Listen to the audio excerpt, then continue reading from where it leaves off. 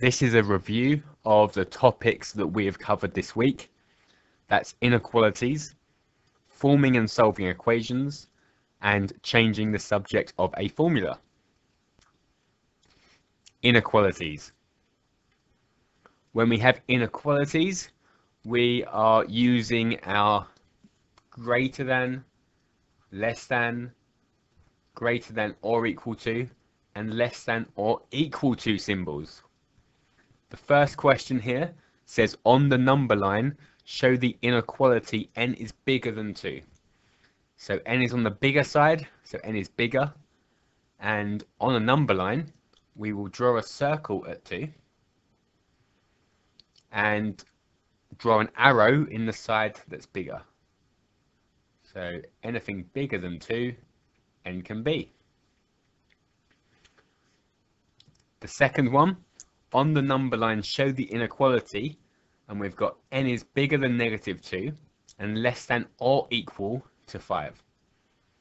So we'll draw a circle at negative 2, and we'll draw a circle that we colour in at 5.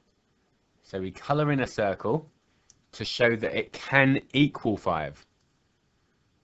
So we join these two up, and that tells us that it's in between negative 2 and 5. It can equal, it can take 5 as a value, but it can't be negative 2. So if it was an integer or a whole number, it could be negative 1, 0, 1, 2, 3, 4, and 5. It can't be negative 2 because it's got no or equals sign and it's not coloured in. Okay, two for you to try. So pause the video and give them a go. The first one, on the number line, show the inequality. b is less than or equal to 1. So the circle's at 1. It can equal it, so we'll colour it in. And we draw an arrow in the less than direction. That's towards the negative numbers to the left.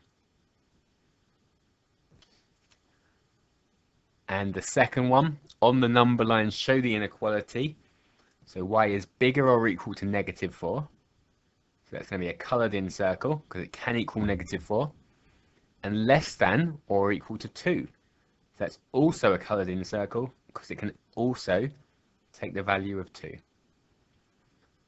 So this inequality, if we were asked what numbers we could have, what whole numbers, what integers, that would be negative 4, negative 3, negative 2, negative 1, 0, 1, and 2. So it can equal negative 4 because it's coloured in, and it can equal 2 because it's coloured in.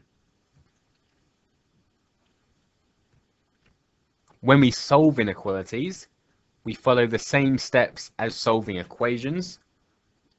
The only difference is if we multiply or divide by a negative number, we need to make sure we change the sign so a greater than will become a less than. We can always avoid multiplying or dividing by a negative number. So if you avoid doing it, you never have to worry about changing the sign. So let's look at solving these. So I've got 4 times 2a plus 1 is bigger or equal to 18. So the first step, I'm going to expand the bracket. So 4 times 2a that's 8a. And 4 times 1 is 4. So 4a plus 4 is bigger or equal to 18. I want to get a by itself, so I'm going to get rid of the 4, the positive 4, by subtracting 4 from both sides. So that will give me 8a is bigger or equal to 14. And finally, I'm going to divide both sides by 8. So 8a is bigger or equal to 14. Divide both sides by 8. So a is by itself. So a is bigger or equal to 14 over 8. And I can simplify that by halving top and bottom. So a is bigger or equal to 7 over 4. That's a fraction in its simplest form, so that's a perfectly good answer. If you wanted to write it as a decimal, it would be 1.75, but you can always give an answer as a fraction unless it specifically says it wants a decimal. The second one, so we've got an unknown on both sides. 5b minus 7 is less than 7b minus 19. The first step is to get rid of the smallest b, and that will be taking 5b away from both sides. So take 5b away from both sides. That leaves us with negative 7 is less than 7b take away 5b is 2b. So 2b minus 19. We want to get b by itself. So we'll get rid of the minus 19 by plussing 19 to both sides. 19 take away 7 is 12. So we've got 12 is less than 2b. And then to get b by itself, divide both sides by 2, half both sides. So that says 6 is less than b. If you want to write b on the front, so b is bigger than 6, b's on the bigger side, so you write b is greater than 6. Okay, two for you to try. So pause the video and have a go at these. For the first one, let's start by expanding the bracket. So 2 times t is 2t. 2 times negative 7 is negative 14. So 2t minus 14 is less than 15. We want to get t by itself. Let's get rid of the take away 14 by adding 14 to both sides. So 2t is less than 29. Then we'll get t by itself by dividing both sides by 2. So t is less than 29 over 2, which is our answer. Again, you could write it as a decimal, but you don't have to. That would be 14.5. And the second one, Let's start by getting rid of the smallest p, which is 6p. So take 6p away from both sides. So 9p take away 6p is 3p. So we've got 3p plus 9 is bigger or equal to 30. Now, to get p by itself, we need to take 9 away from both sides. So 3p is bigger or equal to 21. And then divide both sides by 3, which gets p by itself, so p is bigger or equal to 7. Forming and solving equations. When we form and solve equations, we have to make the equation ourselves before we can solve it. The first example here shows a rectangle and the opposite opposite two sides are 3b minus 5 and b plus 9. Now we need to know the opposite two sides of a rectangle are equal.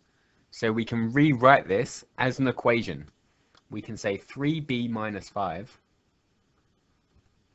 is equal to b plus 9. So we can work out the value of b that we're being asked to do by solving this equation. So let's get rid of the smallest b first. So take b away from both sides, which gives us 2b minus 5 equals 9. Then we can plus 5 to both sides,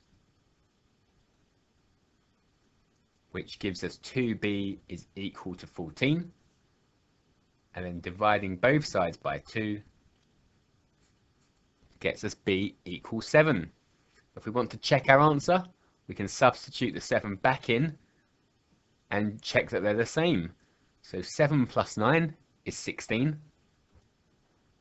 And 3 sevens, which is 21, take away 5 is 16. So these lengths are both 16.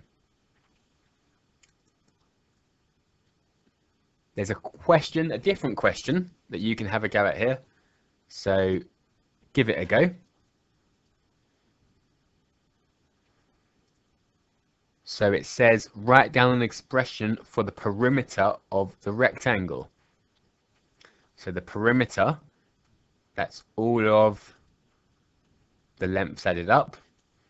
The two opposite ones are equal. So we've got two of the 3a minus ones. And we've got two of the 2a's. So we've got 2 times 3a is 6a, 2 times negative 1 is negative 2, and 2 2a's makes 4a. So collecting these like terms, 6a plus 4a, that's 10a, and we've got a takeaway 2. So the perimeter is 10a takeaway 2. That's an expression, it's not an equation because it doesn't have an equal sign yet. But part B says the perimeter is 43, find the value of A. So if the perimeter is 43, we can say the perimeter, which is 10A minus 2, is equal to 43. Now we've got an equation and we can solve it. So plus 2 to both sides. 10A equals 45 and divide both sides by 10, that gets a by itself. So a equals 45 over 10 is 4.5. And we can say centimeters. And changing the subject of a formula, that means rearrange the formula. So in this first example, we've got A equals 2B plus 5C all over D. At the moment, A is the subject because it's in the form A equals something. We need to make B the subject, so we're going to rearrange the formula so B is by itself. So the first step, because it's all divided by D, we can get rid of that by multiplying both sides by D. So if I multiply both sides by D, A times D is AD. A times D is just AD. AD means A times D. And I've got rid of the divide by D. So I've just got 2B plus 5C on the right side. I'm looking to get B by itself. So I'm going to take away this 5C. So if I take away 5C from both sides, that means I've got AD minus 5C equals 2b.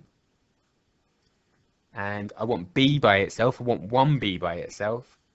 So I divide both sides by 2, which gives me b equals AD minus 5c over 2. Okay, a question for you to try here as well. So pause the video and give it a go.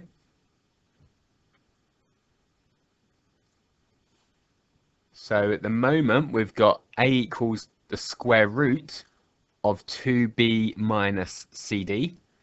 We need to make b the subject of the formula. Let's get rid of the square root. It's all square rooted at the moment. And the opposite of square rooting is called squaring. So square both sides. So a squared is a squared. And if I square the square root, we get rid of the square root so we're just left with 2b minus cd. We want b by itself, so we can get rid of the cd. So it's a takeaway cd at the moment. We're going to plus cd to both sides. So we've got a squared plus cd equals 2b. Then to get the 2 away from b, at the moment it's multiplied, so we do the opposite of multiplying which is dividing. So half both sides. And that gives us b equals a squared plus cd all over 2.